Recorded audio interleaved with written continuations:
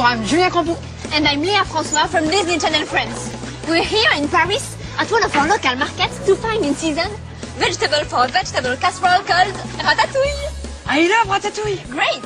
Uh, first we need sweet onions, Mmm, plum tomatoes, mm. an eggplant. mmm, I love vegetables. We also need zucchini I love zucchini. and red bell pepper. I love... We know red bell pepper. Julien, it's not a red bell pepper, it's a spicy pepper.